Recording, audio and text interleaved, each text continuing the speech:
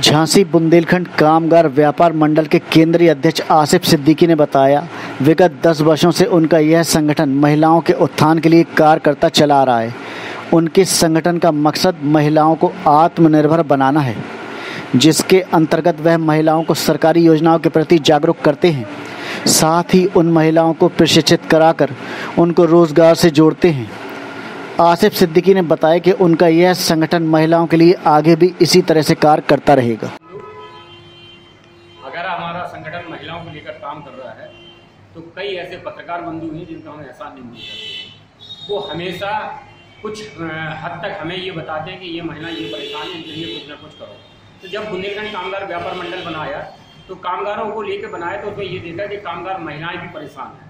तो संगठन बनाने के बाद सबसे ज़्यादा हमने महिलाओं को लेकर कार्य किया, जिसमें कई ऐसी महिलाएँ थीं जो घर से नहीं निकलती थी। उनको हमने समाज सेवी के रास्ते सिखाए, हमने उन्हें राजनीतिक दलों के बारे में बताया, उन्हें राजनीति सिखाई, और सरकार की जो योजनाएँ हैं, उनके बारे में बताया। आज वही महिलाएँ घर घर जाकर वो योजनाओं की जानकारी देती हैं और उन योजनाओं का लाभ देती हैं।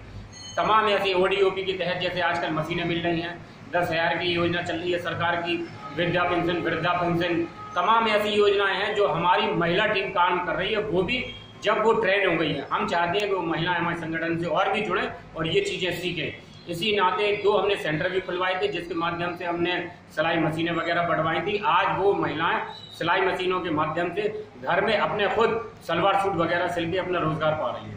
कितने वर्षों से आप ये काम कर रही हैं?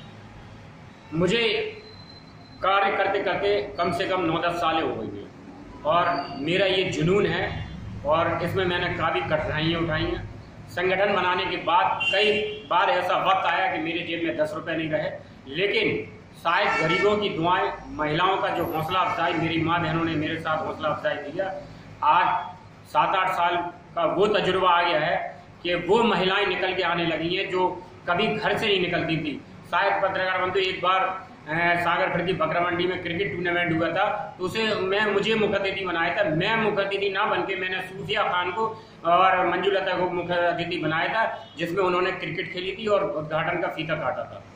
क्या लगता है आपको कि आप महिलाओं के लिए जो कार्य कर रहे हैं इससे समाज में किस तरह का बदलाव आएगा? समाज में बदलाव तो मुझे नहीं लगता कि मैं ले आ सकता। शायद बदलाव का कारण एक ही हो सकता है वो है माँ। और जिसने अपनी माँ से प्रेरणा ली हो तो वो प्रेरणा लेने के बाद अगर वो अगर क्षेत्र में काम करे, अगर समाज सेवी में काम करे, अगर महिलाओं के बीच में काम करे, अपनी माँ बहनों को खुद प्रेरणा बन के काम करे यकीन मानना उस समाज में बदलाव आएगा आएगा आएगा।